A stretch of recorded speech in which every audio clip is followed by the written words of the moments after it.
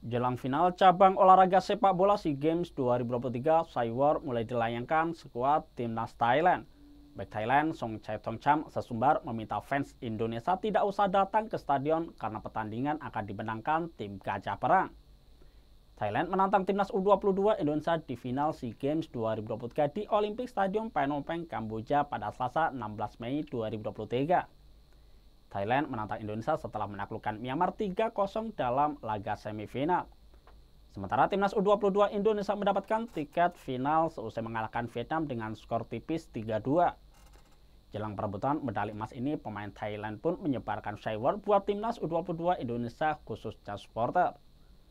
Hal itu diutarakan back timnas Thailand Song Chae Tong Cham setelah laga kontra Myanmar beberapa waktu lalu. Song Cetong Cham meminta agar supporter timnas U22 Indonesia tidak datang ke stadion. Sebaliknya ia meminta pendukung Thailand yang datang memenuhi stadion.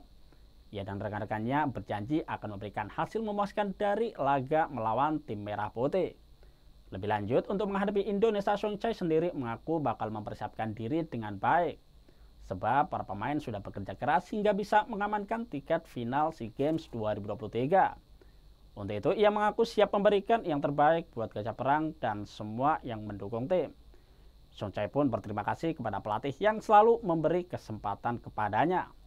Perkataan Song Chai tersebut sontak membuat geram pencinta sepak bola Indonesia. Kendati demikian, perkataan Song Chai tentu bagian dari strategi tim Gajah Perang. Apalagi skuad Thailand tentu merasa was-was, apalagi Indonesia tampil dikdaya di ajang SEA Games 2023.